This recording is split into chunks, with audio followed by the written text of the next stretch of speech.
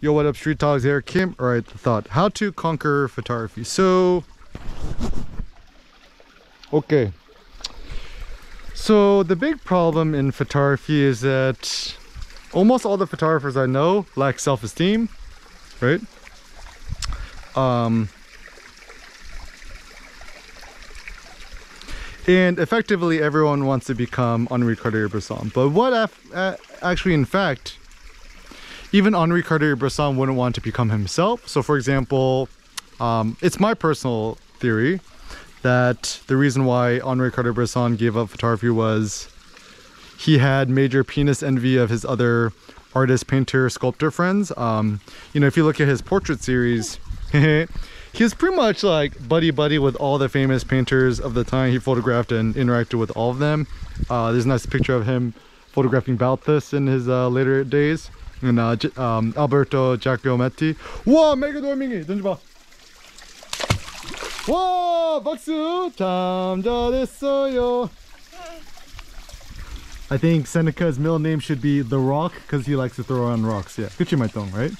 He'll be even buffer and jackeder than Dwayne The Rock Johnson without the, the steroids. But anyways, so to conquer photography means to first kill Henri Cartier-Bresson in the metaphorical sense because he himself, um, like his passion was actually painting, drawing, and he just picked up photography kind of like a side hobby.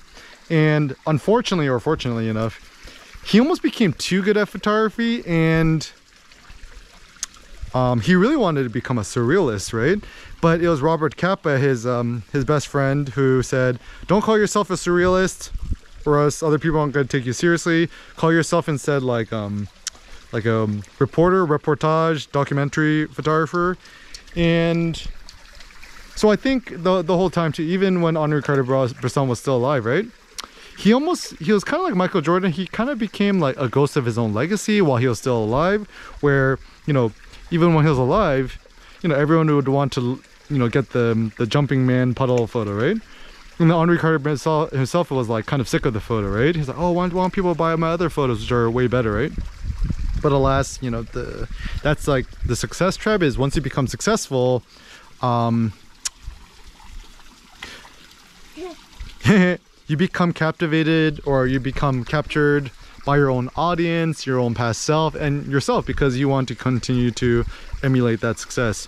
So the real radical, interesting people, the creatives, are the ones who do like kind of this like reckless innovation where you're you're not afraid to radically um, you know piss off your audience. Yeah, 그치 말똥. Yeah, 그치 말똥. 어 던져봐, 던져봐. 뭐 해요? 하나, 둘, 던. 예, 참 잘했어. 오케이, 아빠도 할게. 이거 봐. 하나, 둘, 셋. 아니, 아빠 봐. 셋. 예, 박수. 이거 할래?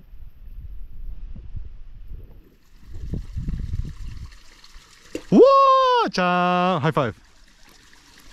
Um, so anyways, yeah, so, and even, you know, you think about all the Magnum photographers, they essentially were all, you know, living in the ghost of the shadows of uh, famous photographers. Even now, like, even though, you know, I've gotten so much inspiration from the Magnum photographers, I think, uh, dong. My personal thought now is that, like, Magnum and Magnum photographers, oh, Dong. Essentially, it's kind of like a relic of the past and in actuality, if we want to evolve and to reach interesting, uncharted kuchimaitong territories in photography, we need to, I mean, suppose like ignore or disregard them. So, for example, um, I think the the most pernicious trend in photography, street photography, was essentially everyone's trying to become Alex Webb, right? But even oh good 말똥 던져봐 even alex webb of today right like if he was really intelligent he would try to innovate in more interesting ways but now you know he's famous for his suffering of light his color um, film slide pictures 요 던져봐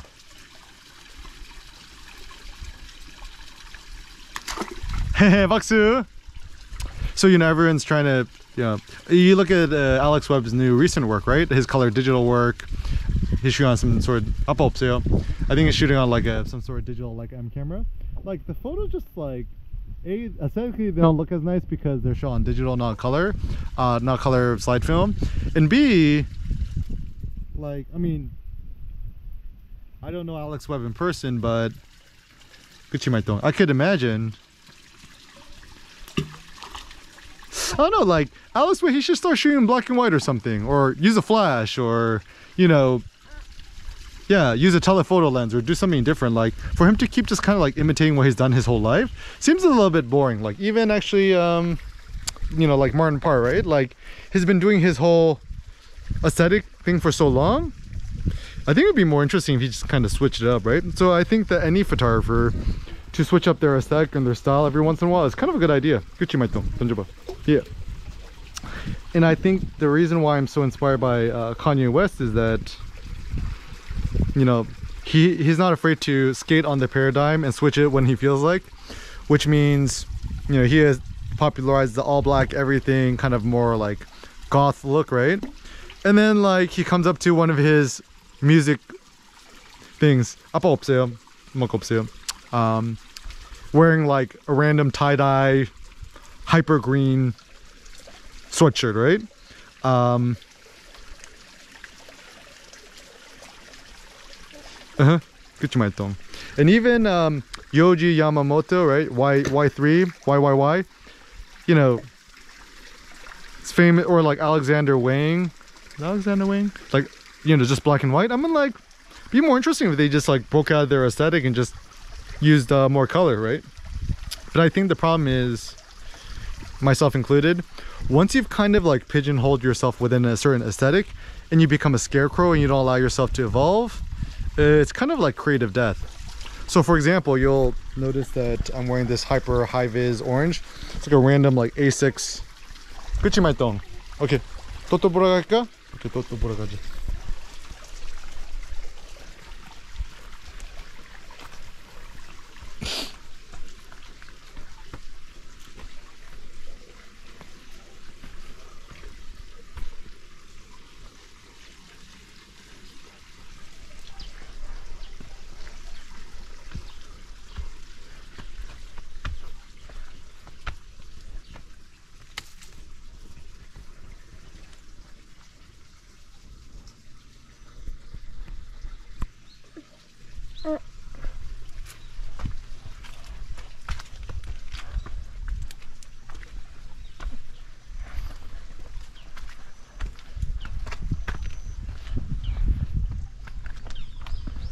Ups, mir ne.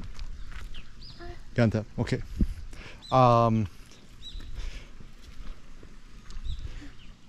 어, 꽃 이쁘지?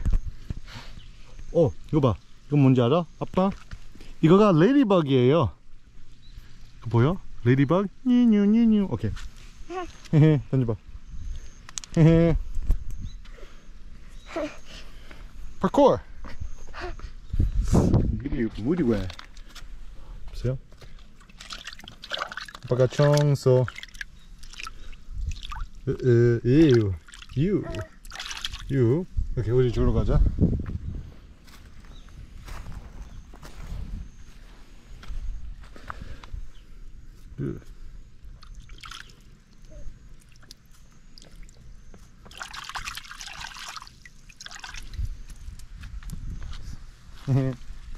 um so yeah so essentially uh you know all black everything and now i'm wearing hyper viz orange color and i i really quite like it um mega dorming um so yeah don't don't become a scarecrow like uh even uh, Steve Jobs, infamous for his um, Issey Miyake black turtleneck and uh, blue jeans, you know, he did it, I think, mostly for pragmatic reasons, maybe part aesthetic, but whatever. But one should not feel constrained to once find a theory, propose a theory, and stick to it forever. So, for example, like even if you're a smart, right? Like imagine you're like a super crazy Mac fanboy or whatever, right? if you actually did find a google pixel camera phone whatever that was actually in your mind superior to an iphone you should totally get it and switch or you know if you're really smart just just have two phones that's what people in asia do right is the the the best ideal is technically to have both an android phone and an iphone 또또 아니 또또 보라 해? 싫어? Okay 우리 물 um, and oh yeah, just keep updated. I might do a Hadong creative retreat, photography workshop retreat, um, sometime uh, in the summer next year. I think I'm thinking like August 1st to August 5th, 2023. So just you know, just Google Eric Kim workshops or Eric Kim um, Hadong workshop, and then uh, register intent. Um, there's like a Google form I put there. But anyways, um, and yeah, so yeah, it's just um more um so anyways back to photography right? So allow yourself also to, to shoot just like shoot nature right? Like even right now got the Ricoh GR3X camera. Don't just feel like constrained to just have to photograph you know street photography or a certain small niche. Allow yourself to photograph everything. So even for myself right? Like air Eric Kim street photography right? That's that's what I'm known for, right? But I think I'm quite glad that I've had the courage to break on beyond that and just do other random stuff in video like like like doing my workout videos and deadlifting and hype lifting and stuff like that um because it communicates to other people that you are in fact a full stack individual a full stack personality and you do more than one thing. So for example like